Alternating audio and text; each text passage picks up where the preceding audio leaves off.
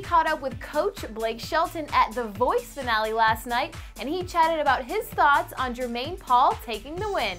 Hey guys, you're watching Clevver Music. Team Blake's Jermaine Paul was victorious last night on season two of The Voice.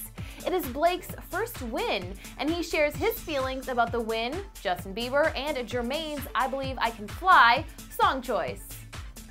I don't feel as much proud as I feel like one of those girls that was in the audience when Justin Bieber came out, and they were just screaming, they were falling apart. You know what I mean? That's what I feel like because uh, Jermaine is, is a guy that uh, has been in the shadows, you know, for a while, doing some backup singing and thing, whatever he can do to, to be in the industry, doing what he loves to do.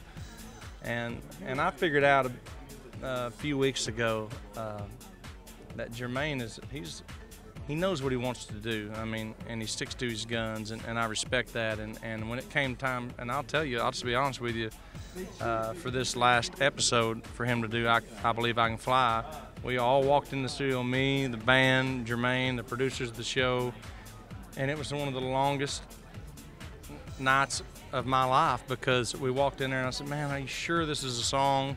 I don't know if it is. I mean, it's kind of a really popular song. I hope it's not overdone or whatever and we went through a bunch of songs. I mean, we went through a bunch of songs. And finally, at the end of it, I just looked at him and said, You know what, Jermaine? You were right when you came in here. You were right when you walked into this room tonight.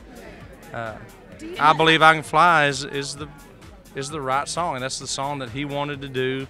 And we heard him sing uh, on a lot of things, and, and he knew what he should do. And and uh, it's really cool to, to see when an artist is that right, and, and that makes you know that he deserves to be the winner because he knows what he's doing. Can you talk to Congrats to Team Blake on their win last night. It was an incredible finale with lots of emotions, and we couldn't be happier for the voices, Jermaine Paul.